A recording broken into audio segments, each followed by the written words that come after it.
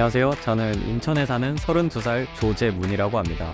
저는 이제 스케줄 근무를 하고 있어서 평일에도 시간이 많은데 그 평일 낮에 시간을 활용해서 라이딩을 자주 가곤 합니다. 대부도나 영흥도 같은 바다 쪽으로 많이 가는데요. 바다 근처로 달릴 수 있어서 자유로움을 느낄 수 있어서 좋은 것 같습니다. 그리고 오프로드 지역도 활용할 수가 있어가지고 CL500을 타고 저희의 exciting한 스포츠를 선사할 수 있어서 좋은 것 같습니다.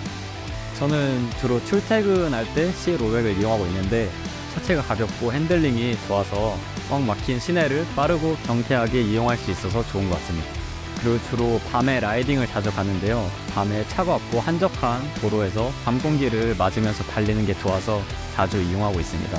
저는 CL500을 어디서나 잘 어울리는 바이크를 찾으시는 분들한테 추천하는데요. 시트도 높지 않고 차체도 가벼우면서 클래식한 디자인이 있고 도심이나 오프로드 같은 다양한 장르를 다 이용할 수 있어서 그런 분들한테 추천하고 싶습니다.